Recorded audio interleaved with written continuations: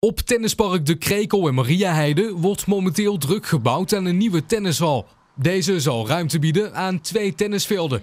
Het is de bedoeling dat iedereen er gebruik van kan maken. Zowel mensen die lid zijn als mensen die eenmalig een baan willen huren. Sinds de tennishal in Veghel omgetoverd is tot paintball-locatie, is de Krekel de enige tennishal in de gemeente. Dus naar verwachting zal er genoeg vraag naar zijn. De bouwvergunning viel 12 jaar geleden al op de mat. Maar de tennisclub besloot te wachten totdat het buitencomplex helemaal af was. Na verwachting wordt de nieuwe hal in september geopend.